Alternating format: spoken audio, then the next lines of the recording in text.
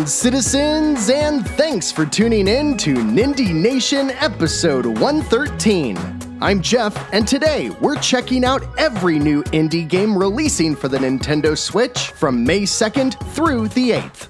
When we're done there, we'll check out the eShop deals to help you find just the thing to keep your Joy-Cons synced.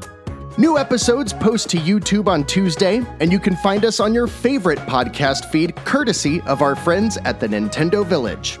Please don't forget to like the video and subscribe if you haven't. And if you want to chat with us on Twitter or Discord, the links are in this episode's description.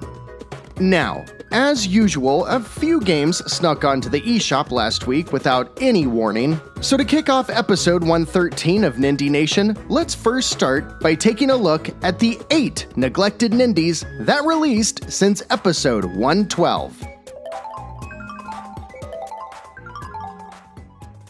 First up is Street Cleaner, the video game. And I appreciate the clarification, you know, just in case you thought you had accidentally landed on the Amazon Video Store or something. It's an 8 bit action platformer by Creaky Lantern Games that looks like every NES game I used to rent back when I was a kid, and I mean that in a good way. It's got an assist mode to help you see the game through, and a hardcore mode if you want that classic challenge, and it launched last week for $12.75. Now, for better or worse, the rest of the neglected Nindies from last week are all games that I would consider Nindie no nos. There might be one or two that speak to you, but as far as I'm concerned, the following eight titles come recommended by Nindie Nation under no circumstances. Eric Games put a spaceship in a purple tunnel, gave it lasers, and told it to blast all the things across six levels in retro space fighters and launched it for $4.99. Mafia slots are the ladies in lingerie that hang out with a mob boss, and oh, I'm sorry. Mafia Slots is Digital Game Group's attempt at tricking your grandma into spending six bucks. But it just isn't the same without a pack of Misty 120s and her stories up on the TV, you know? Eric Games also publishes Jigsaw Tetra for 5 bucks with such features as up to 256 puzzle pieces, music from various genres, and lots of images you can choose from. My favorite, though, is that this abomination is developed by Yazalem Technology Limited Circuiti, I'm giving Cubite Interactive the same disappointed look I give my son when I catch him eating dirt. Because last week they published a $2 brawler called War Dogs Red's Return. And for whatever reason, all of the gang members have dog heads. Entity 3, that's a new one, had an awesome idea to take Super Monkey Ball and strip it of everything that makes it good with Skyroll for 5 bucks. They suggest you tilt your way to victory. But might I suggest instead taking the finger between your index and ring, positioning it in the direction of Entity 3, and tilting it into the upright and locked position. Lightwood Games keeps publishing their Pogi games, this latest one being Letters by Pogi for $7.99. It tasks you to make words by changing one letter at a time fun. And finally, if you need another escape room game, OnSkull Developments got you covered for 5 bucks with Escape First 3, which doesn't even make sense.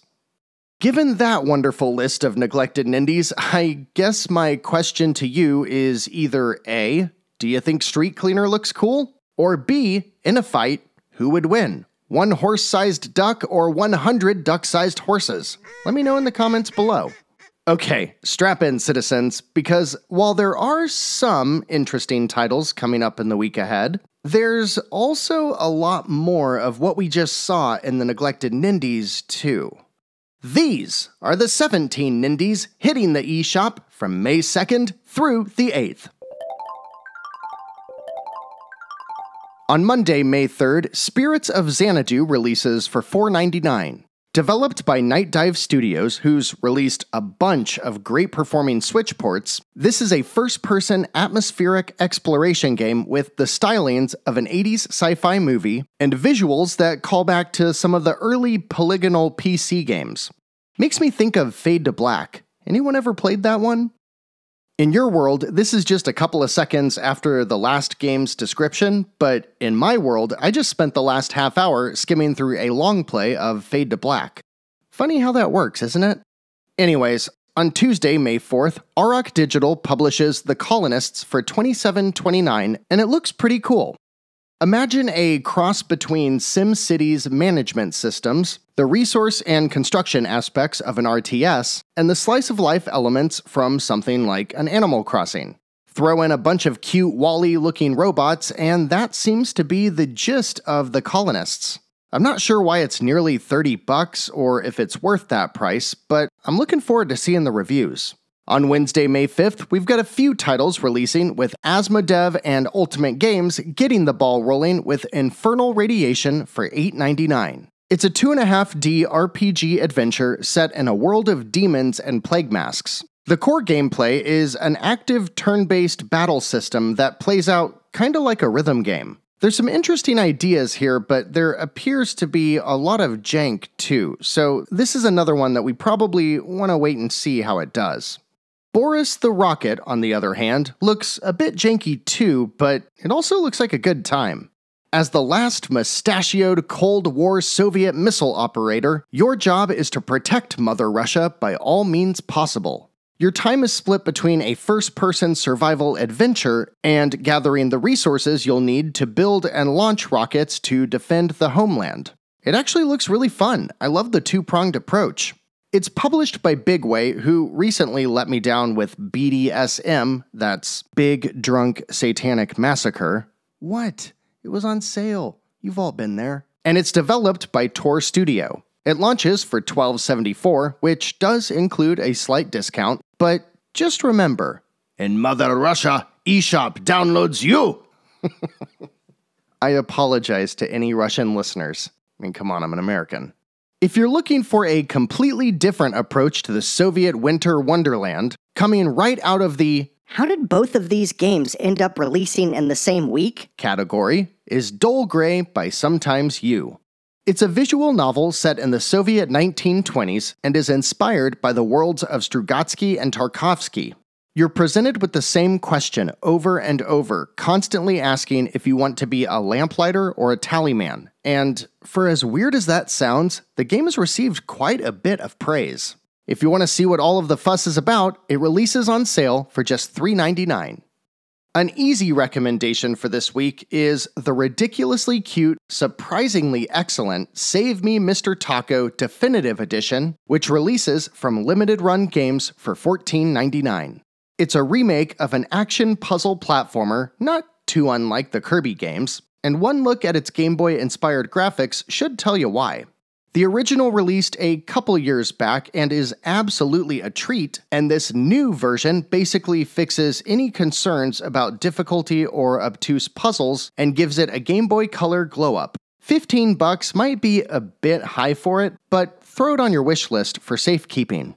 Then the relatively new contestant in the game show called, Biggest stain on the eShop. also known as Game National. releases a two in one dash application driver and serial killer slash sniper for a buck 99. yeah, f- that game. The big Thursday drop is not so big this week as games seem to be spread all over the place, but nonetheless, the sun rises on Thursday, May 6th with Cyberhive by Red Black Spade. Featuring the team responsible for Lo Fi Ping Pong, Cyberhive features far more scantily clad anime scientists with bee stingers sticking out of their butt than I usually prefer, but the game looks pretty cool. It's a space opera that plays out to the tune of resource management, think Fallout Shelter, and includes some mini games scattered throughout. It appears to have a branching narrative with multiple endings, and you can get your hottie girl with a bee butt fix when it releases for $9.99. For as much as I hear about Skater XL, Tony Hawk, Skatebird, and the elusive Skate 4, I'm surprised I've never heard of Skate City. Developed by Agens and Room 8, this $10 game is a simpler, more chill approach to skating and takes place in a few real world locations set to the tune of chill original beats. I wasn't too interested in the game until I saw that it was published by Snowman, and they're the ones that brought us Alto's Adventure and Odyssey late last year. Now you've got my attention. That's weird. This next game is called Beach Bounce, and it looks kind of like a volleyball game, so why is it asking me to confirm my age? Uh oh. Oh no. Beach Bounce has nothing to do with balls, or, well, you know, not volleyballs. And the trailer is, uh, really something special. You're spending the summer working part time at your grandmother's understaffed beach resort. The only comfort is that all of the other staff seem to be beautiful young women. So it's not a completely wasted summer. Gamuzumi releases this one for $9.99. Nongunz Doppelganger Edition is this week's release by Digerati, and it just might have some of the grossest pixel art I have ever seen. Yet, I really want to give it a go. With a nasty take on the 1 bit art style, Nongunz is a super fast 2D action game with guns that could even make Enter the Gungeon jealous. It releases for $14.99, which seems a bit high, but it is nonetheless a grotesque 2D shooter with procedurally generated dungeons, roguelike mechanics, and RPG elements. Hey, Techno Tanks! It's a top down tank combat game with Neon Tron like visuals, and it releases by Epixer for $4.99. Techno Tanks!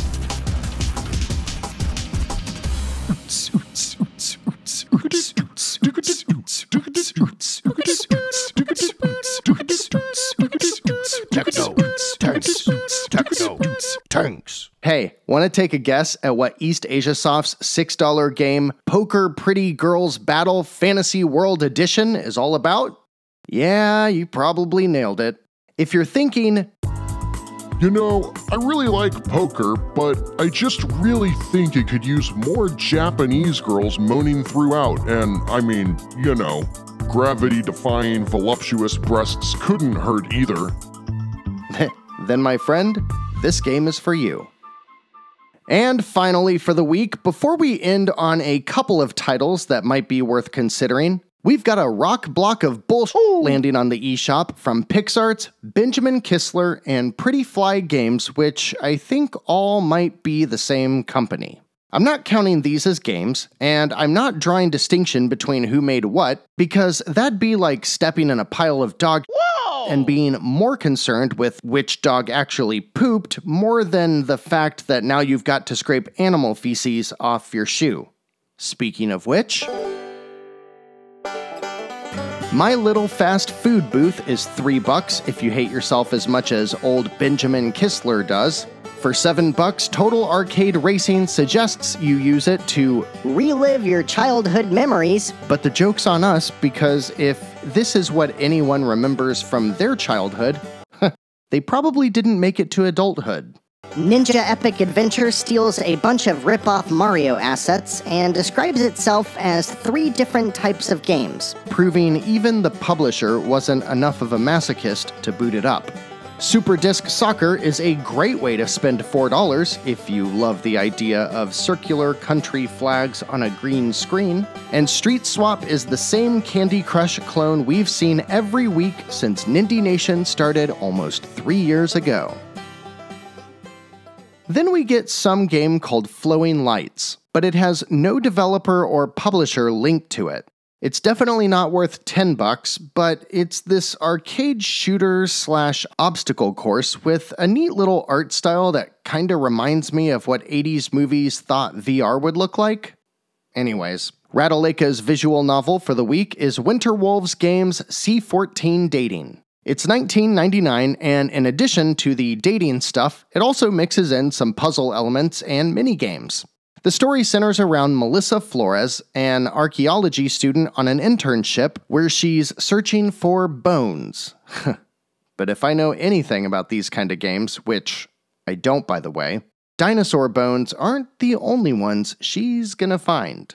Giggity.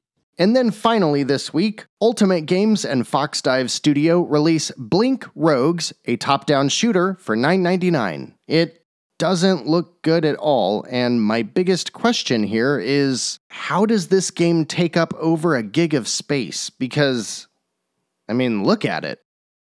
Oof. The releases this week are like if you're going down a water slide and you're having a great time, and then you realize that it drops you into the baby pool instead of the adult pool, and you just know every toddler in sight has soiled themselves in the water that is about to wash over your body. Why do I write these things? Mr. Tako is great though, and both of the Soviet era games should find their own audience. Nongunz could be a fun trifecta, and The Colonists, while too expensive off the bat, might be worth checking out on a sale. Anything for you? Let me know in the comments. I don't want to end this episode on a downer, and with as slim as this week's release list has been, we're going to go ahead and jump into some deals. So even though finding light in this week's Nindie card catalog of crap was, uh, challenging, these are our picks for the nine best Nindies at their lowest prices ever through at least May 8th.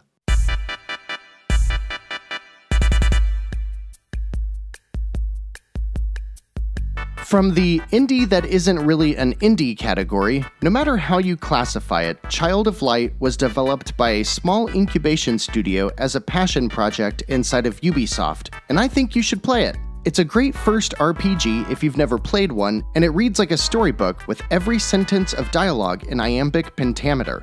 It's charming, the combat system is engaging, the exploration is fun, and right now it is 75% off for just $4.99.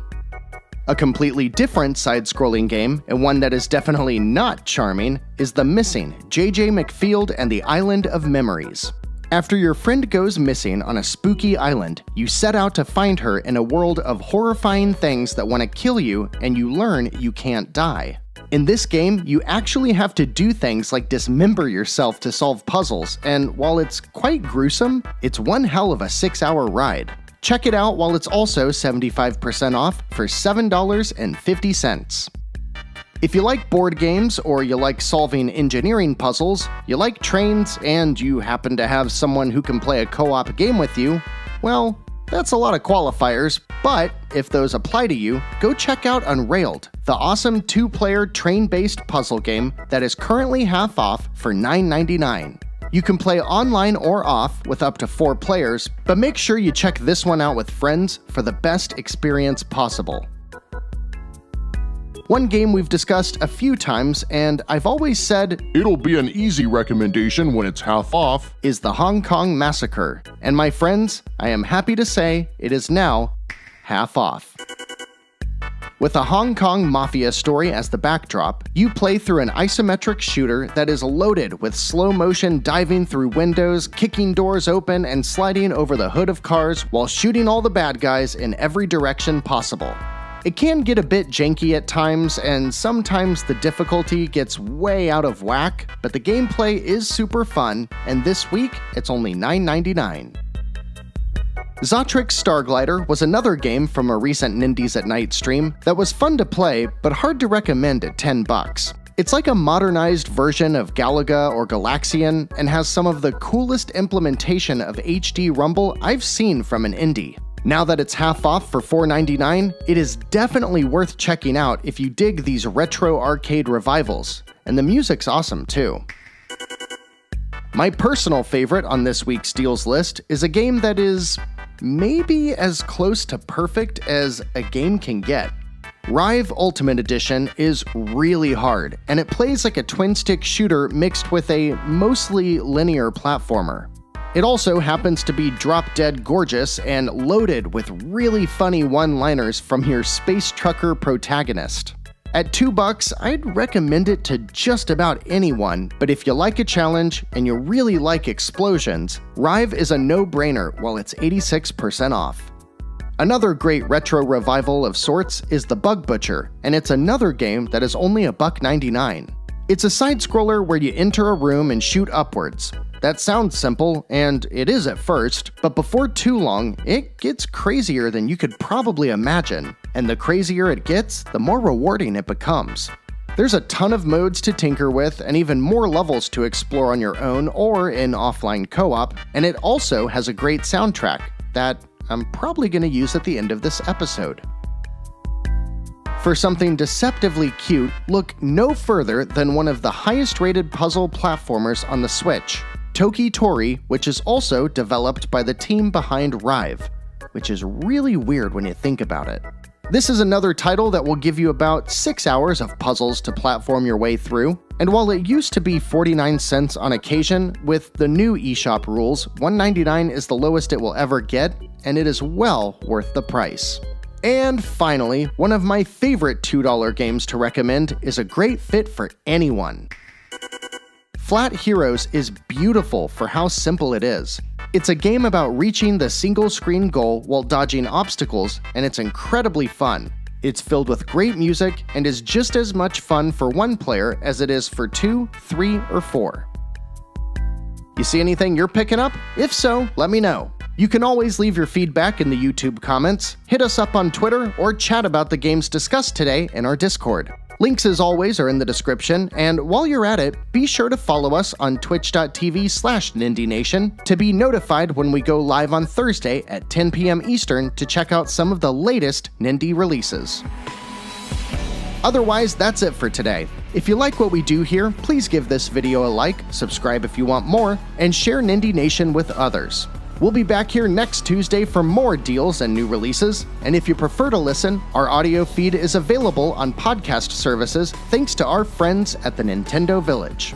The Nindie Backlog Club episode for Guacamelee will be live later this week, which means it's time to check out a new Nindie. With the excitement surrounding the announcement of Oxenfree 2 later this year, we're going to play through the 3 to 4 hour long original and share our thoughts over on Discord, as well as which ending we all got, which should make the conversation pretty fun. Next week is already shaping up to be something special because we've got not only Subnautica finally releasing on the Switch, but Aerial Knights Never Yield is also on deck, and I can't wait to play that one.